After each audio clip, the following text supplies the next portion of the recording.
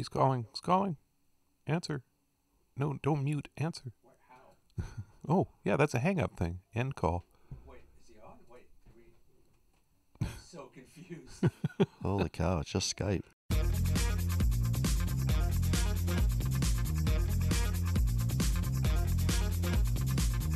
This is the AT Banter Podcast, a balanced and entertaining look at assistive technology, accessibility, and its importance in people's lives.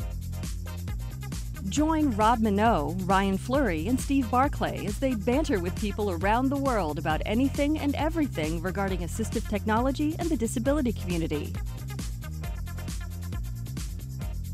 Now, on with the show.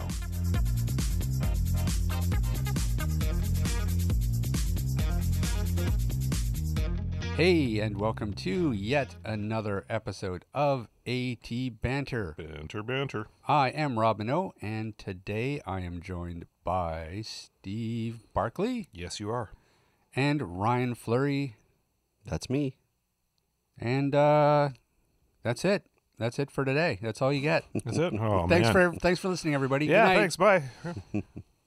Oh, so uh, I'd ask how the weekend was, Steve, but uh, you probably have a little, little some some some black parts of the weekend, eh? I, I have some uh, some definite fuzzy memories around that party. Yep. Yes, it was Steve's 50th birthday party. Yeah, huh? And why don't you describe to the fine folks what you did? Well, we had a uh, combination of a super soft birthday party and a foo-foo drinks party.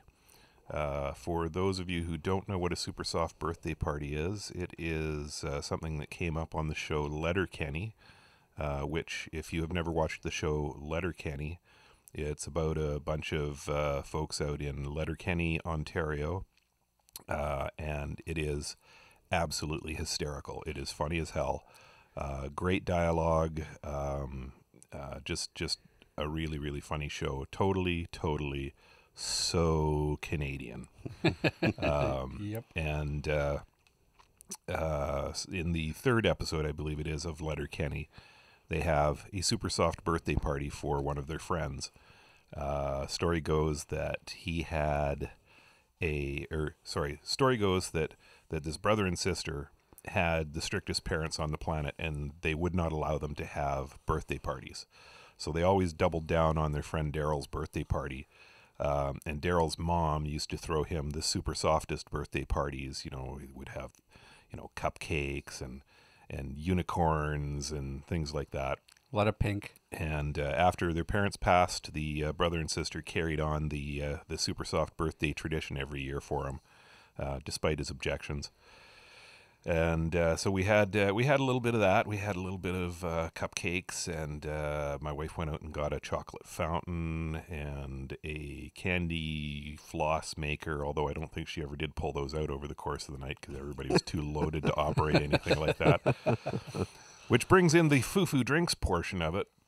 This is something my wife and I have been doing for years. The Fufu Fufu Drinks Party is a celebration of the effeminate beverage. Uh, anything that you can put a fruit skewer in or a uh, umbrella is uh, is allowable.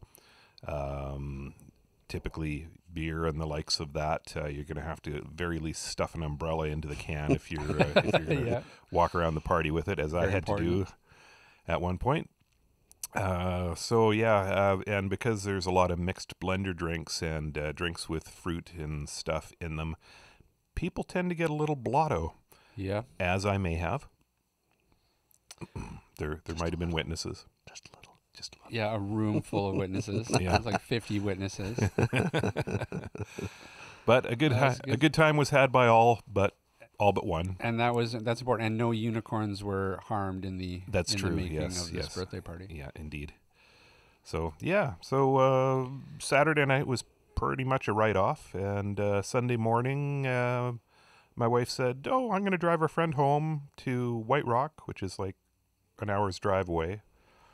So you know, minimum two-hour turnaround. Oh, and they were going shopping too, so you know, minimum four-hour turnaround." Well, So she, she obviously didn't have enough to drink that night, well, more importantly, she left her hungover husband, whose birthday it just was, to clean the house. which happened probably around 4 p.m. the next day. No, no, I was I was up at a reasonable hour because yeah? we had uh, we had folks over still. Oh, did you? Yeah, yeah. So yeah, I survived it, but uh, have been on the wagon ever since. yes, all oh, four days. Yeah. four days on the wagon. That's right, and it's killing me, it's killing me Anyways, we digress. As we we've do. we've digressed. Uh, hey Ryan, Rob, what are we doing today? today we are speaking with a gentleman from a company called WearWorks, which is haptic technology once again. Oh, cool! I love haptics. It seems to be a theme. Yep.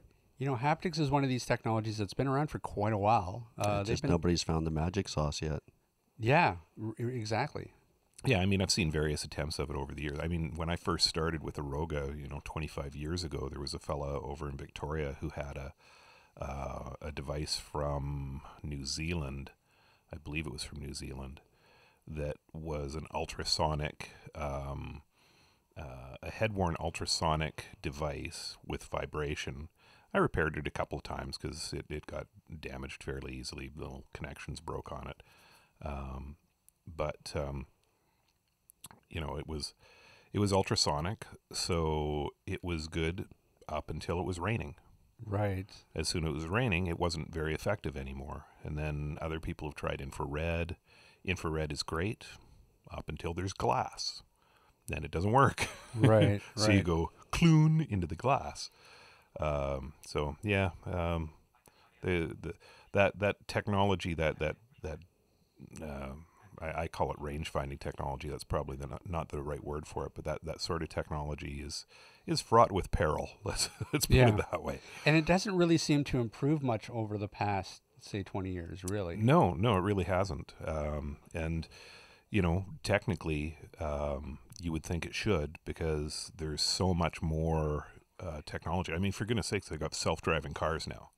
You know, you'd think if they had self-driving cars that uh, that they would have better uh, types Yeah. of you know um, navigation uh, gear available for for people who are uh, blind and visually impaired. But um, maybe maybe it's just that you know in a car you can fit an awful lot of computer in there to, to drive that stuff, whereas you can't in a portable device. But but who knows? Maybe we'll get there. Yeah, well, and I think that these guys are going to be interesting to talk to because they're doing something a little bit different from that. They're they're using the haptics and and the, this device. You know, it sort of ties in uh, the power of, of Google Maps and, and GPS and stuff. So, but yeah, we'll- this is this is a fairly straightforward device, and it's uh, I believe I'll, I'll leave it to them to fully explain it, but I but I believe from what I've read about it is it's meant to just give you directional information, which way you need to turn at at what point, um, and it and it gives it to you in a nice discrete um, uh, haptic method. Um, you know, it's not uh, it's not trying to reinvent the wheel. It's just trying to be a uh, an accessory that um, keeps you from having to wear headphones to uh, to get that kind of information. Right. All right. Well, uh, well, before we launch into that, though, we should address an email that we got from Robert G, who writes us, gentlemen.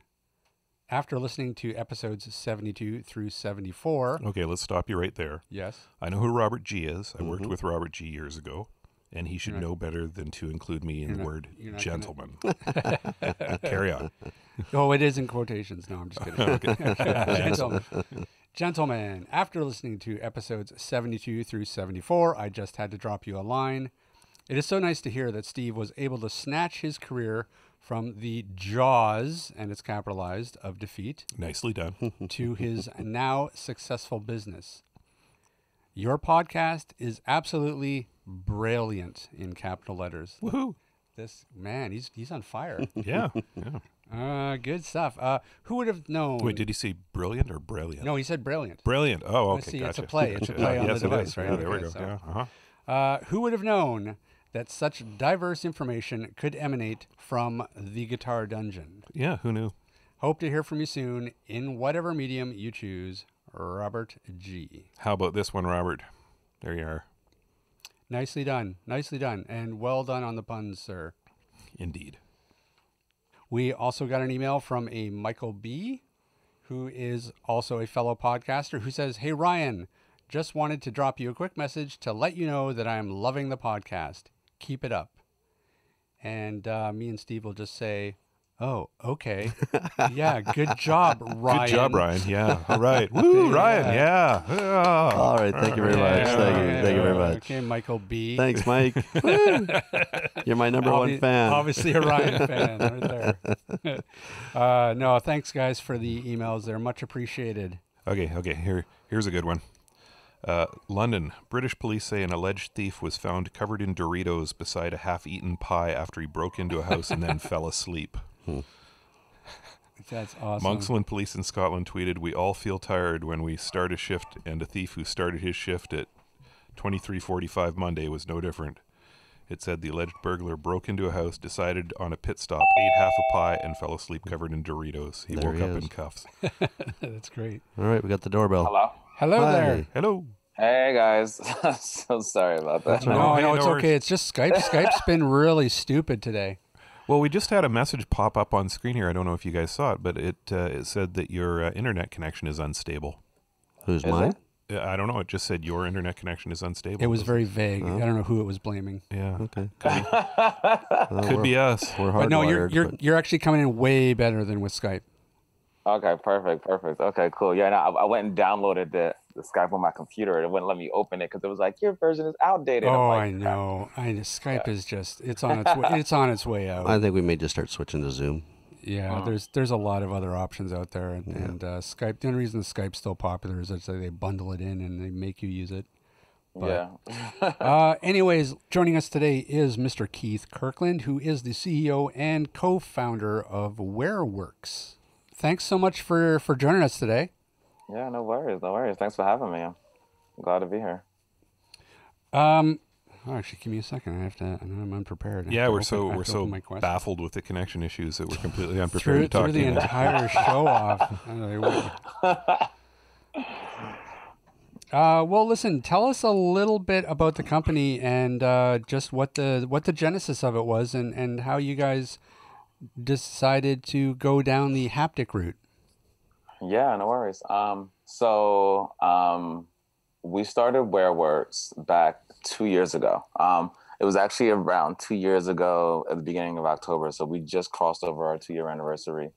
And when we first came together, um, I have there's three of us. So there's me, I'm the CEO, and my my co-founder Kevin Yu. Um, he's the chief of design, and my co-founder Yang Wang or Yang Wang. Um, he's the head of manufacturing and like operations. And so when we first came together uh, to explore this route in haptics, we actually took three very different paths to get here. Um, and so my background was in, um, we all met at Pratt Institute in the industrial design program there. Young and I were both doing the master's program, and Kevin was doing the bachelor's program. And I spent the entire year working on a suit. Um, I was trying to create a suit that you can download kung fu into, and the suit would teach you kung fu. And Cool. Wait, yeah, Steve's and- head just snapped up. You just you got Steve's attention right there. I know kung fu. exactly. It's like, exactly. My thesis- Okay, why are you not working on this still? All right. I, I want Oh, a kung fu exoskeleton.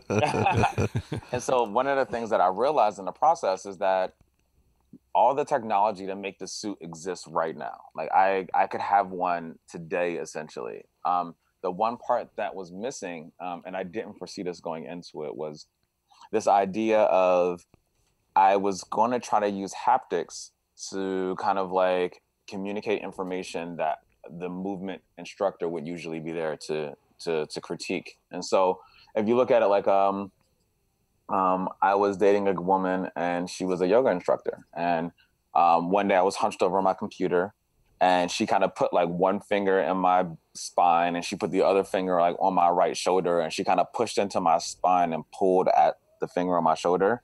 And I kind of straightened my back out to kind of like proper posture. And then it made me realize I'm like, well, if you had a way to tell what my movement was, motion capture data. You had a way to tell what my movement should be, the motion capture data of some kind of professional. And you had something that can simulate that push to haptic motors. you could essentially simulate this whole experience without the teacher needing to be there. Right. And then it became like, you know, right now movement is still taught in a way that like music used to be listened to before the invention of the phonograph. You know, like I wanted to hear you play trumpet, I had to sit in the room with you. And so this suit all of a sudden created like the possibility of like what happens when like, you know, like someone can download your kung fu training program in Brazil and they've never met you, never seen you even. Um, and what does that do to like the movement economy? Um, capturing and digitizing movement. And so this was like all the stuff that I was thinking about, um, mainly because I was interested in movement, but also mainly because I have a lot of injuries from movement. You know, like two partially torn rotator cuffs had me do two shoulder surgeries, a herniated disc in my lower back, a, uh, you know, partially torn Achilles, and so from skateboarding. And so I realized that like if there was a better way to learn movement so that I didn't have to be taken out the game when I injured some important muscle group that was involved in that movement. And thus now I need to go find a whole new like thing to find fall in love with. Um, and so that's how I got into the space of haptics was realizing that like if I want you to raise your wrist off of the table two inches, do I put a motor at the bottom of your wrist and vibrate it, or do I put a motor at the top of your wrist? Like none of that work had been done before. There was no language to communicate movement information through touch. Right. And so I realized that before the suit could even be made, this language first needed to be created. And that became where me and my co-founders all kind of came together. So we were all applying for this thing called America's Greatest Maker. It was a it was a television show based around wearables with a million dollar top prize. And originally I was going to enter with my suit and my two co-founders were going to enter. They had been interested in the space of haptics. They had been working with some haptic companies. Um, Kevin had been working with like wearables, um, doing like high-end wearable tech stuff for brands like Coach and Rebecca Minkoff. Um, Young had come from the space of mainly like 3D modeling, but he also has background as like kind of like as a DJ and an audio engineer. And so we were using a lot of those kind of ideas of music and translating them into touch. And so for us, they reached out to me, um, and, and we all had individual relationships as well. Kevin and I worked at the Metropol- Metropolitan Museum of Art together in a program called the Media Lab, where we basically explored technology at the intersection of the museum experience. And we basically both kind of created projects that got a lot of attention. Um, I was using uh, garments to like walk down runways and 3D modeling them with 3D models so you can see what the garments in the museum look like worn on a person. And Kevin had spent he was he was trying to explore how to take an art in other senses, and so he worked with a company that was doing like printing 3D printing sugar, and so we printed he printed some uh, artifacts from the museum and wanted to, people to be able to taste them. Um, and so that's kind of like where me and Kevin relationship started. Kevin and Young have a furniture company that they've been working on together for a few years now, doing custom like pewter uh, furniture. And then Young and I were all classmates, and so we had a, a good working relationship with each other. And we were all also in this group called the Digital Arts and Humanities Research Center. We call it the DARC uh, at Pratt Institute, which is kind of a space to kind of, you know, like bring in some more of this kind of like technology, creative, technology and creative stuff kind of together. And so that was like our intro. And so they reached out to me and was like, hey, we're going to do, we're going to enter this competition using haptics. And you did haptics all year. You want to join? And I had a really good relationship with both of them. So I was like, yeah, let's do it. And so when we came together originally, the original goal was that um, we weren't sure exactly what we were going to do. We know we wanted to do something in haptics. Um, and I felt like the suit was way too complicated to do. It was a lot of moving pieces. Um, a lot of the technology wasn't fully there yet. And so we looked at like, what could we do with this technology? And how could we start to begin to create the foundation of this language? And we kind of ultimately decided on navigation. And navigation was a really good premise because unlike the Kung Fu suit, which needed three dimensions, navigation, you only really need two. Right. You know, it's a top view. Um, outside of needing millimeter accuracy in real time with GPS, you get like five meter, five meter accuracy, and you can have a bit of a lag. It's acceptable in that space. And so, and the commands are really simple. It's go straight, turn left, turn right, wrong way. You've arrived. You've begun. Um, and so we felt like this was like a really good use case to put kind of to prove that we could net we could we can take information and communicate it through another sense. And that's kind of what we've always been about is this idea of like everything is so visual and then secondary is audio. You know, like Right. what can we do like you know, like with touch, you kind of have the same sensitivity that you have with like the eyes or the ears, but you know, it's for every 100 papers written on vision, there's one written on touch. It's it's it's, it's extremely kind of like underexplored and underutilized as a communications medium to get information. And so, we felt like what was being designed on the floor is kind of like cell phone notifications, right? And then on the on the higher end, what could be done is that like you can tell the difference between love or aggression in an instant. You know, you get punched in the face, you don't really need to have all the facts to understand that like something just happened, it wasn't great, and like your brain responds. And so Right. we were like, the body is capable of this, and people are only basically designing with this, these buzz buzz on offs, like we just felt like there was so much space to play in. And so we kind of walked into this idea like, okay, like let's create a way to originally we walked in with like let's create a way to get people out of their phones and back into the real world. And that was our that was our beginning. So it really it sounds like you you didn't necessarily take uh you know uh, the route of we're going to design something that's going to be a mobility aid for the visually impaired. Uh, it's it's kind of sounds like you guys just kind of fell into that space. Is that is that right? is yeah i mean you, a bit of it like we we knew navigation was a really good topic and we knew that the blind and visually impaired community could probably benefit best from what we were doing and so that we had those assumptions really clear going in um, but we, we we obviously had our concerns like we had never done this before and, and, and it had never been done before and so Right. we were like, okay, let's prove it with people who can see first.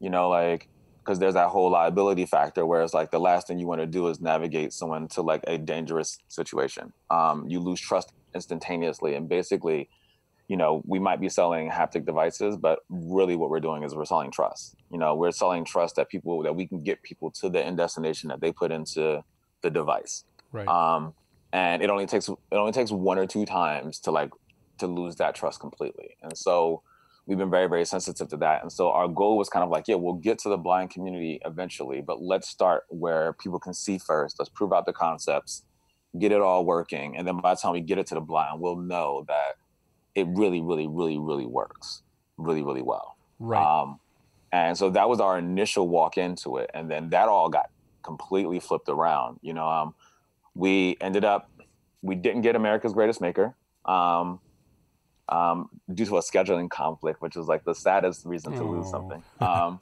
and what we did though, we took the we took the same info and we applied to this this organization to this uh, this competition called Next Top Maker, and it was a New York Economic Development Corporation sponsored uh, program um, in partnership with like Microsoft and Nike and a, and a few other companies in New York. Um, and the goal was that they wanted to turn New York into like the Silicon Valley of hardware. Hmm. And so they got tired of kind of losing tech talent to, to San Francisco and the Bay Area. And it was like, what can we do to create an ecosystem here in New York to make tech, especially hardware companies, want to stay here? And so we came in on the third cohort of that program. They gave us about, you know, $10,000 as grant money. And, you know, we got started. And so, um, you know, when, when we when we walked in, we walked in with a video, and we had some really really rough prototypes of what we thought it might be like. And other than that, we basically had nothing. And when we left, you know, like we left because uh, we saw the other companies that we competing against to get that one of those six slots, and they were so far along. It's like this company was like, we make giant 3D printers, and here's our giant 3D printer, not like here's a video of our giant 3D printer and how it might work, you know. And so right. I mean, we we basically just like went and got like you know totally trashed at a, a bar nearby because we thought we did such a horrible job, and then a week later we got a call and was like, congratulations, like we want you guys um, to to join the program, and so like we were like ecstatic, um, and it kind of like validated like oh this could be, potentially be like a really real thing, and so that first money and that recognition they gave us office space and part of that was a uh, an exhibition booth at south by southwest.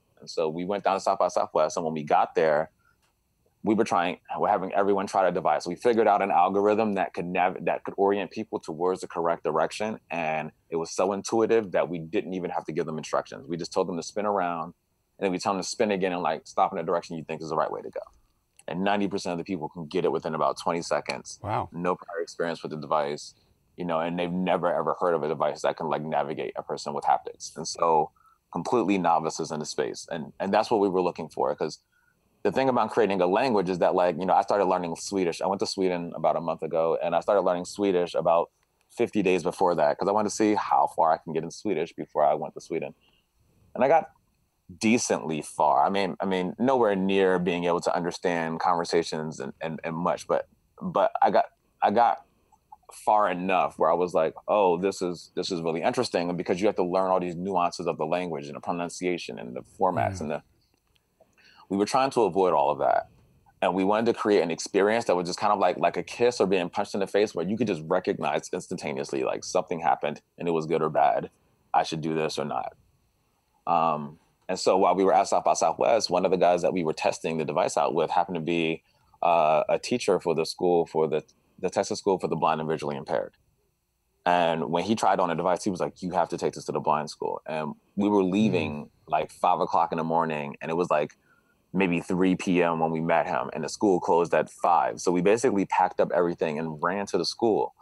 Um, when we got there, uh, we met the superintendent of the school, but the school was totally closed because they were on spring break. Oh. Um, but the great thing was that is that the Texas Department for Assistive and Rehabilitative Services Blind Services Division was right around the corner, and so they directed us there. And when we got there, um, we we basically walked up to some people in the parking lot and was like, we started showing them the device, and and, and apparently because it's like you know like you have to do this silly thing where you have to spin around so you can feel the whole experience of the device so you can understand what what your choices are. Right. and apparently making people spin in a circle make them become your friends because we walked in they were kind of like what do you want? I'm like oh we're looking to speak to somebody about this. And it was like yeah go ask someone at the front desk. Once they tried everything out they was like you need to speak with scott bowman. He's the assistant commissioner. Like his office is right here you know blah blah blah blah blah. So we walked in to ask for scott and we ended up being guided to his office by five of his employees and he had no idea we were coming you know like and so he just kind of like in like in shock and i felt like oh like i remember that moment of kind of like having to diffuse the whole situation like yo i know this looks crazy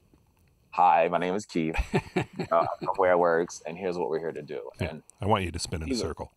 he was he was phenomenal. You know, like he gave us like four hours of his time. He let us borrow some of his employees who were like who had visual impairments. They tried the device out. He let us video record them. Um, so you know, we got their really honest feedback. And at that moment, we were, you know, uh, Kevin's father uh, um, was kind of uh, has, has become famous for saying that, um, you know, like he was talking about, you know, like who we should do this device for, and he always thought we should do it for for the blind, and we were hesitant because we weren't we didn't want to deal with the liabilities around it just yet. So he was like, yeah, you know, maybe somebody traveling, you make their life 15% better, right? He's like, maybe if you're talking to someone who's like running or like cycling through the city or like hiking on a trail or snowboarding down a trail, like maybe 25% better, right? And then but like when when we put the device into the hands of like people with like, you know, blindness and visual impairments, it was it was like you can just see their eyes light up. It, it, it was like it was kind of like order of magnitudes change in life Right. and, and the quality of life. And that's when we got really clear like, okay, this is the hardest possible thing we can do. But if we do it, if we're successful, we prove without a shadow of a doubt that every single other use case that we've ever wanted to explore with the same technology is is trivial. And so then we became like, okay, cool, let's just do the hardest thing. Um, and that's kind of how we started our direction into focusing explicitly on the blind. Amazing. And so the device itself, it's it's called the Wayband, correct? Yes, that's correct. So can can you so for our listeners who, who don't know anything about it, um, sort of take us through what the device is and and what it can do and, and how it kind of works. Okay, perfect. Um, so the device is called Wayband, and it's a wearable haptic navigation device. Um, you wear it on your wrist, and uh, the device has no screens. Um, we wanted to keep it as kind of like minimal and as simple as possible. And plus, all of my co-founders and I have backgrounds in industrial design, so you know, of course, that kind of like beauty and that like aesthetic part is like very, very important to us. Um, and also, we found out to a lot of our, our blind users um, they actually care a lot more about how things look than people with sight, which is kind of like a misconception that sighted people have. Um, and so, and more than anything, we know that the quality of is, is basically in how the device feels. And so we're paying really close attention to those details. Um, but as far as functionality is concerned, like you put the device on your wrist, it connects Bluetooth via an app that we designed uh, right now only for iOS, um, but we're going to bring out an Android version um, after we kind of work out all the, the, the bugs and kinks. Right. And um, the goal is is so you wear the device, it connects via Bluetooth, and you in you interact with the app. Right now, uh, we built the app that it works with VoiceOver. So most people, most blind people and visually impaired people are familiar with using uh, Apple's accessibility VoiceOver feature, which kind of reads off kind of like options on the screen.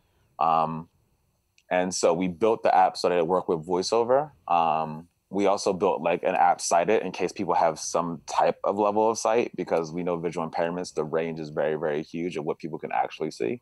So we made a fully sighted app as well um, that can also uh, you know um, that yeah that works with voiceover. And then ultimately the goal is is to integrate voice recognition so that a person can speak directly into the device and have all the the instructions go directly um, all their routes mapped out.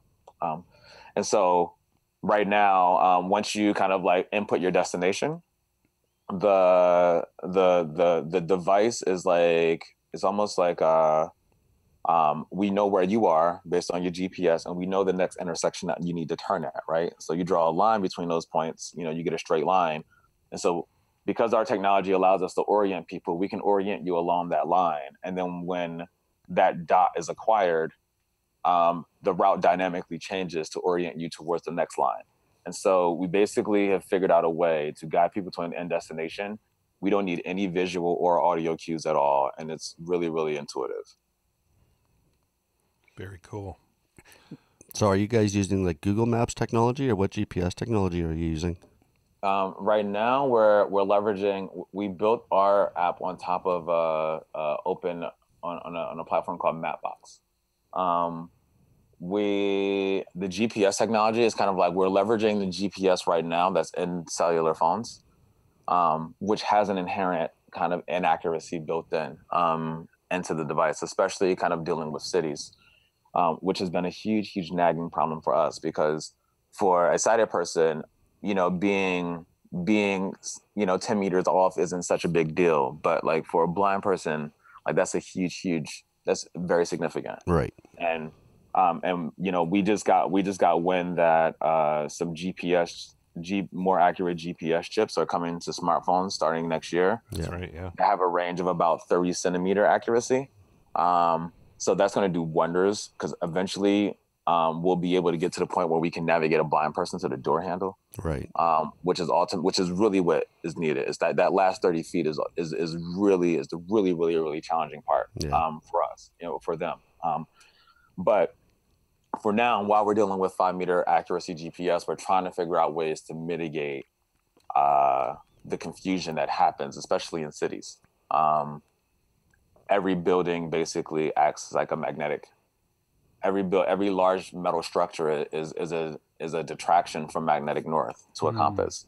So you walk across a bridge and you'll just see like your compass is just scrambled. You know, it's like, um, and so we're kind of looking at like some really innovative software algorithms that can like smooth out a lot of that data until we get to the point where we have the accuracy that we need kind of already existing in the technology. But um, one of the things I like to I like to to specify is that like at WearWorks, we're really interested in like products and experiences, designing products and experiences that communicate information through touch. So mapping isn't really our specialty. You know, GPS isn't our specialty. Um, we're not even necessarily assistive technology. We're more in- inclusive design because we happen to pick a sense that more people have access to. Right. Um, and so, as the as the technology gets better, our device will get better. But right now, we're we're we're doing a, a bit of legwork to figure out how to mitigate that inaccuracies that are inherent in the system. Tell us about the uh, beta program and how that works. Yeah, so the beta program is uh, a, a concept that we came up with. Um, we really wanted to get feedback, and we've worked really, really closely with blind organizations like you know, we've been consulting with a, the former CEO of, of Dallas Lighthouse. Um, she's a, a, she's become kind of like an integral part of our team. Um, you know, we we have some blind consultants that we've been working with. Simon, of course, we ran the race. Um, he ran the New York City Marathon with our device uh, a few weeks ago, um, and you know, um, National Federation of the Blind, uh, Lighthouse Guilds in New York City. So we've been talking and we've been building this technology and this device alongside the blind community. Um, and what we needed to do is that we really needed to get these devices out there, you know, like, and the hard thing about developing hardware is that you need a thing to be relatively finalized and finished before you can get it out there to people. Right. Um, and every every every every month that we delay is a month that someone could be navigating with our device. You know, like that their life could be better. And so like we're really kind of pushing around the boundaries and and, and especially like we're trying to push the deadlines. And one of the things that we realized was is that like we really needed to get a lot of data. And so we were like, okay, let's create a program where we give people access to the devices, the early state devices, the same one that Simon ran the race with. Um, and right now, the, as the program stands at, at 299, you get like the beta device, and we, we we're selling it as a program specifically because it's like it's not a device. It's not a finalized thing. We know it needs more work and we're going to and the whole point of this program is to figure out where those resources are best spent by getting the feedback of people who are actually going to be using these devices you know in their regular lives. And so um, the part of the beta program is we're selling it as a program because we want people to give us feedback. Um, so part of the program is a one hour either phone call or visit if you're close enough um, with one of the founders um, to talk about the experiences with the device. And so the idea is that we want to do one hour per person over the course of four months uh, for each of the four months. And then the data that we should have from everyone traveling with the device, all the feedback is then going to go into a new pool at about month four to redesign or refine the device with the features and feedback that you know our original 100 beta users gave us. Um, and then after that to come out with the finalized device and some type of pre-order campaign or crowdfunding. So that's how we're moving. Um, and so the beta program is really a way to, for us to like really get intimate with the relationships and and really to because uh, the other part is that uh, you, you, need to log a lot of miles to get the data because our device requires that you cover large geographical distances. And so you know on one end, it's like if we had 10 people do, if we had a thousand people, if we had a hundred people do, you know, 10 miles, we have a thousand miles logged. Whereas then like for the founders to do it, we'd have to run out, we have to go out and travel 333 miles each, you know what I'm saying, to get the same amount of data. Right. And then the other part is that like we want to really see across different spectrums. Like, you know, how does someone who's 15 uses the device versus someone who's 75? Um, how does the device perform in, in non-city areas? Uh, how does it perform in rural and suburbs? Um, you know, like how does it perform like at higher altitudes versus low altitudes, humidity? Like we need enough geographical data to really be able to understand like fully what people's experience of this thing might be um, before we go into our redesign phase. And so that was our way of really just kind of like involving our customers even even even even more so to to give them kind of like a direct line of communication to us so that we can really make a device that's actually going to impact their lives. Um, sort of going back to the the actual design of it um, and, and and haptics in particular what are the advantages of of using haptics as a, a navigation aid as opposed to say something like speech? Like you know there there are a lot of um, mobility GPS apps out there that will that will speak to you. Obviously, um, what's the advantage of, of using haptics in that instead of speech? Yeah. Um, so the biggest advantage that we see, as opposed to audio, is that for a person, especially for a person who's blind or visually impaired, your ears are like your eyes. Like that's how you understand what's going on around you. That's how you keep yourself safe. Um, and we feel that the audio navigation, which is a really, really great aid for blind people right now. And, you know, we have totally nothing against it, of course. You know, we might actually incorporate some audio prompts on top of our haptics. We're exploring that possibility. Um, but the thing about audio is that like it takes away a blind or visually impaired person's ability to hear what's going on in their environment. And then like, you know, you know, God forbid something in the in the space is way too loud and now you miss your direction. And when you're lost, it's it can be a really big challenge or big confusion part to kind of get back, back on track. Right. And so the way the the real big advantage we see to using haptics is that a you get um you get the information communicated to you while still being able to like fully use your ears to pay attention to what's going on around you. And then the second part is is that the information is really discreet. You know, like right now, um, you know, like I've had a I've had a, a, a few conversations with blind people where it's like, you know, like basically they feel like their most accessible devices right now, basically like Bluetooth headphones and like iPhones, right? Yeah. And because that's the device that they use mainly through life. And so, you know, she was talking about how embarrassed she was one time where she got a text message like, you know, from her husband that was like slightly inappropriate and she thought it was on her Bluetooth headphones, but it was actually like on speakerphone. You know, like and so like giving people like the other part of the thing is that when we went to the National Federation of the Blind, we walked in with like very blind specific stuff. We were like, we took a pivot and we were like, let's why are we building a separate device? Let's put all this stuff into a cane. Blind people use the cane all the time. Why not just build it into what they have instead of making them go out and get something additional?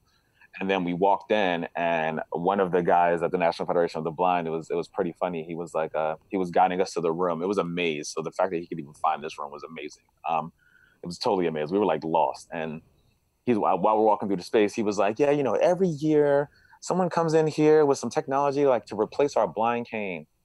It's so stupid. And we're just like, yeah, stupid. You know. Meanwhile, we had a whole bag full of stuff to replace the blind cane with, you know, like, and so we eventually we showed them, you know, we, we fessed up and we showed them that we were kind of we were trying to come in here and replace the blind cane, and they liked the work that we had done, but they were way more interested because, you know, like we uh, the the stuff we were doing with the blind cane was around like proximity, like being able to detect stuff around you, like we call it like, you know, like we have like, so we're working on like macro scale navigation, right, uh, for the Wayband, but like this is kind of more like micro scale, like avoiding obstacles and people in front of you. And so they weren't really interested. They was like, this is cool, but like we know how to get around. We figured that out. They was like, this other thing is a real problem. Like, solve this. This is this is actually hard for us. Figure this out. hmm And so we like, okay.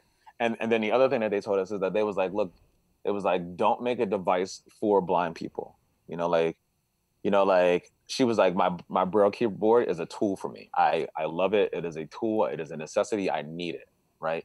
She's like, but my most accessible devices are my iPhone and my Bluetooth headphones, something that are not geared toward blind people specifically, but they work really well for blind people. So so what they told us is like to keep their use case at the at our forefront, but to design it a device that anybody could use. Because ultimately, one of the reasons that blind technology ends up being so expensive is because it all the research and development costs have to be like amortized over over of a much smaller population. Um, and so we're looking at ways to kind of like, okay, that tech that kind of brings us back to our original plan, which was like we wanted to build a device for anyone to navigate without having to use a phone and feel comfortable where they're going.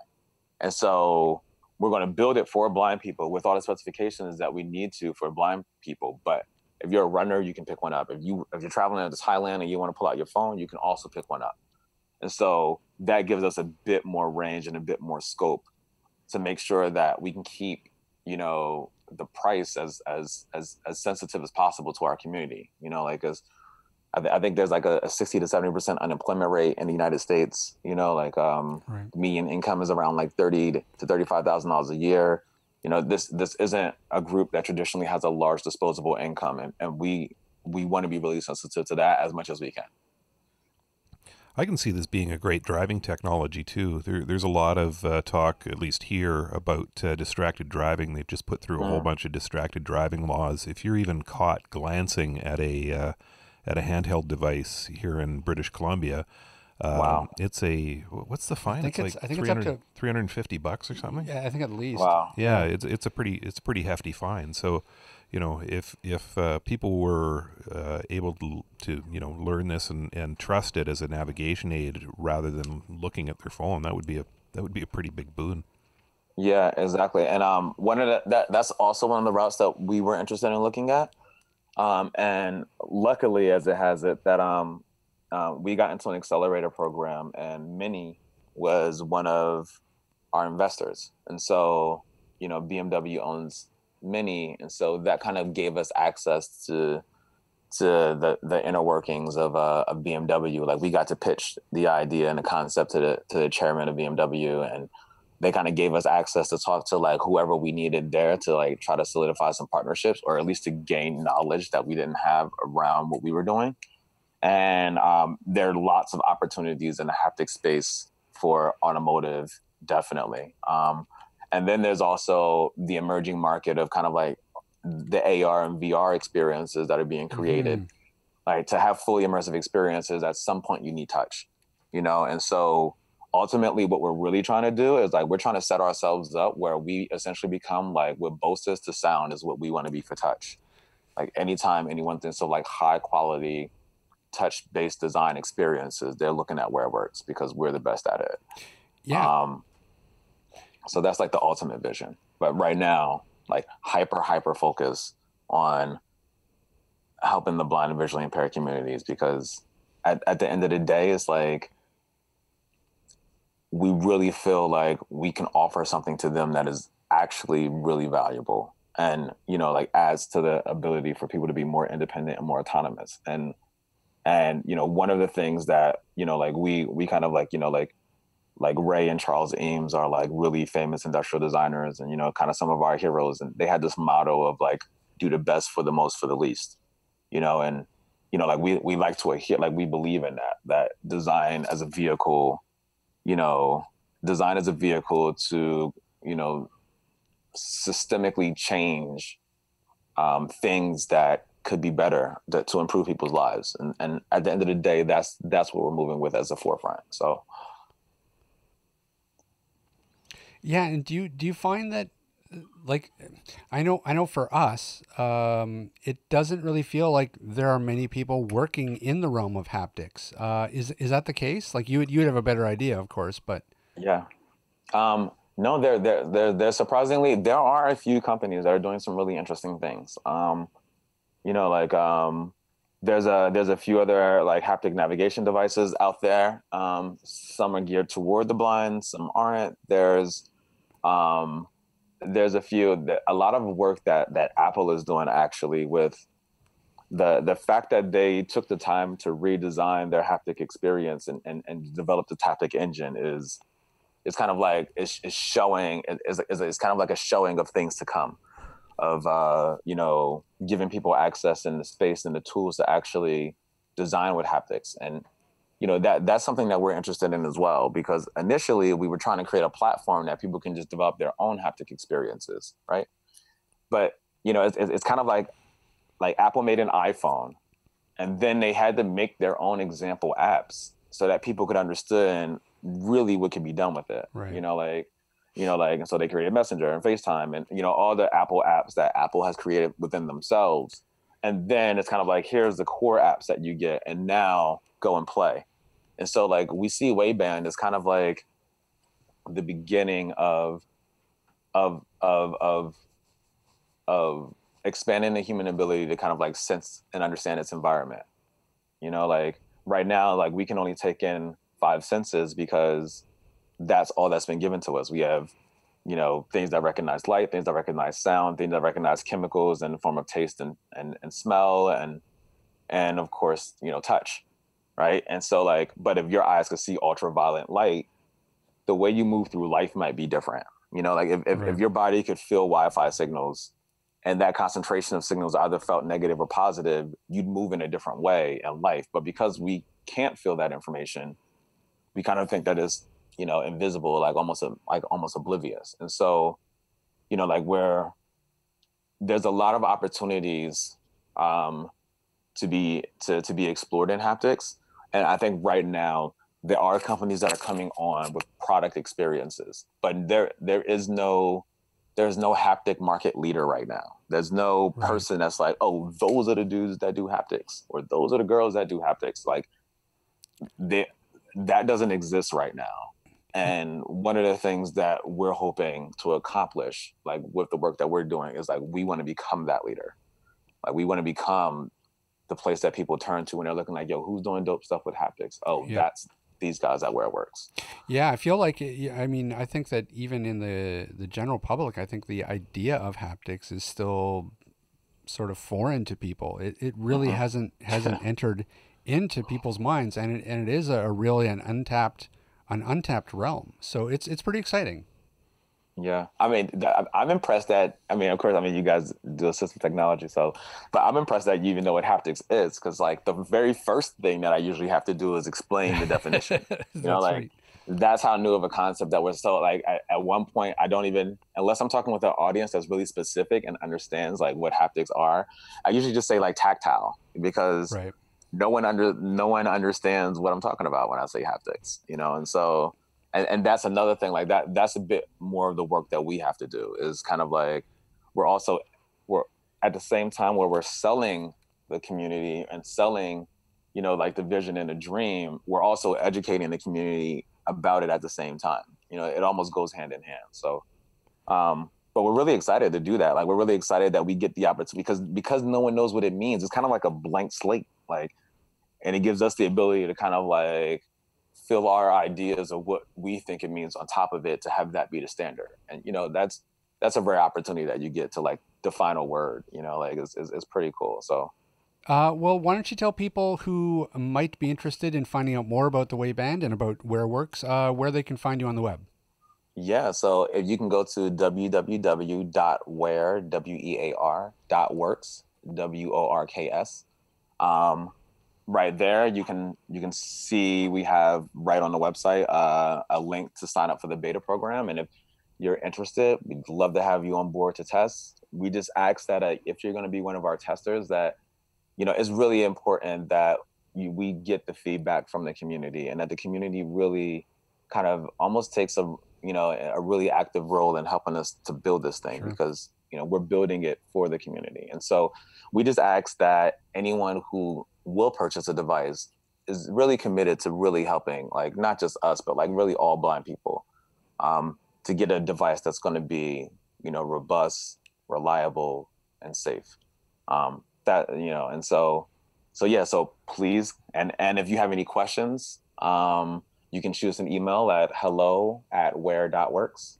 Um, and, you know, we've been kind of inundated with requests, but we'll get back to you as soon as we can. That's awesome. Uh, you know, and we'd love to have you back on in a few months and uh, just for an update and, and see see where things are at. No, that'd be fantastic, actually. Um, maybe sometime in March, we're scheduling to do a, we're scheduling around that time to be, to, to start um, preparing for our crowdfunding campaign.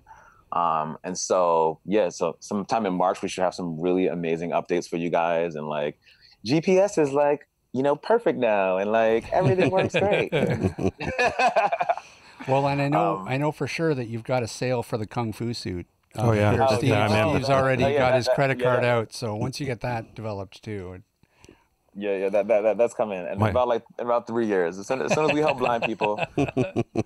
my, my only my only concern is what happens when uh, the suit can move further than I can. Well, technically, the suit would just let you know where you should be moving. Not, yeah, Steve, it doesn't do all the work. It's that not a- It seems a bit dangerous. I can just you know? see me in a typical workout. Bzz, bzz, bzz. It's oh, damn it! Further, Yeah. further! Let's I can't go electrical further. Stimulation and just activate people's muscles. and Can't then put we- my There leg there. Yeah, that sounds crazy. Keith, thanks so much for uh, joining us today. It was an absolute pleasure talking to you, and and good luck with with uh, Wayband. Thank you so much. It was great to be here. And like I said, if you guys have any questions, feel free to hit me up whenever. Sounds good. You bet. Okay, sir. Thanks so much, and uh, we'll talk to you again. Okay, cool. Ciao. Okay. Thanks, Bye. Thanks. Take care. Cool. Kung Fu suit. Kung Fu suit. Yeah, absolutely. Well, God, what would that be like? Or a yoga suit? I mean, uh, you- you- honestly, like haptics really is an untapped realm if you think about it. Like, just think about even uh, like you were talking about um, the car. Yeah. Like think about if they had built in haptics into like Oh, I a was steering, thinking, a I was steering thinking wheel. exactly that same thing. You know, and if you're getting a buzzing, the, the closer you get to the vehicle in front of you, and you're getting you're getting that tactile feedback on your steering wheel as well as your visual. I mean, it just it would add so much to to so many different. Yeah, it's got potential for alertness, you know, for, Everything. for you know when if somebody's getting sleepy and they're starting to drift off the road, it could you know vibrate the steering wheel to to wake you up. Could give you directional information by vibrating one side Sure. or the other. You know, eh, there, there's all kinds of possibilities around that. So yeah, Yeah. It, the, these guys are are really on the forefront of a technology that's got a, a ton of potential. Yeah, it Bec- really does. Because you think about it, what what do we use haptics for now? The, about the only thing that the average person has in their life that uses haptics is their cell phone, which Right. vibrates, and that's Yeah. that's it. It's just a notification that hey, your cell phone's. Th- That's right. He- He's absolutely right. It was just an it's just an on off thing. Yeah, Um, but I also think that the big advantage of haptics too that he didn't really touch on um, was it's far more intuitive than than audio instruction as well. I would think. I mean, it's all about you know muscle memory. If it, if you're talking about uh, you know it's it's buzzing say on the left side of the band for you to go left. yeah, Uh, you know your your your mind processes that much quicker um, than say uh, you know audio instructions. I think I- I- especially for putts like me, I, I can't think of how many times somebody said turn left, and I go okay, and they go no, the other left. That's right. oh right, yeah, yeah, that's left over there. So, yeah, yeah, haptics would probably do a better job of communicating that to me. Yeah. So it, it'll be interesting. You know, I, I think that you know in five years, I think haptics will be much uh, much larger because because you have companies like these guys who are sort of you know making this stuff to really show what the potential is because you know the last thing that you know I was kind of thinking about this while he was talking I was like well what's the last really cool thing with haptics that that uh, I had in my life? And the only thing I could think of was like I used to have one of those force feedback Steering joysticks wheels or joysticks. Oh, yeah, yeah. joysticks like doing flight simulators and stuff, right? Yeah, yeah. And that was really cool, and that was all the rage there for a while, and then it just even those like sort of just went away, and that's really the last thing that I could think of that that really used haptics in that way, and I think that he's right too about about VR and AR, and you know building that element into into entertainment as well. I mean, huge potential. Yeah, you know, he, he started talking about uh, um, you know the the broader uses for it, and I started to think about uh, you know if you were in a in an immersive movie theater, for example, you could you could be wearing a suit or something, and it would be giving you tactile information. And and the first thing that came to my mind is some son of a bitch is going to drop a spider on me. I'm going to feel that thing creeping up my arm, and I'm going to run screaming out of the theater. Ah, spider!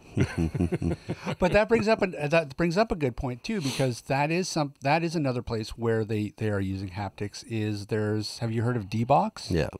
in the theaters No. it's uh there there's certain theaters that that uh, feature it and they're basically like a They'll move your haptic s- chair Yeah, they'll Oh, move yeah. your seat forward and backwards. They can shake it. Ah. yeah so and you know it's so it hasn't really taken off it's a bit gimmicky Yeah. all right hey Ryan Rob, where can people find us as usual, they can find us online at www.atbanter.com. They can also email us if they would like to. Uh, atbanterpodcast at gmail.com. Yes, they can. And you know where else they can find us? Where? They can find us on Twitter. We are AT underscore banter at Twitter. And in Facebook, we are AT banter. Correct, sir. Um, I guess that's it. Is it? That's I, a wrap. I think that's Really? that, that is a wrap.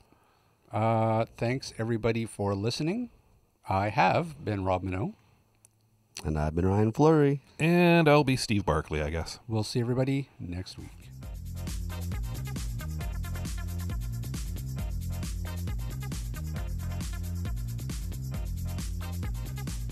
This podcast has been brought to you by Canadian Assistive Technology, providing low vision and blindness solutions across Canada.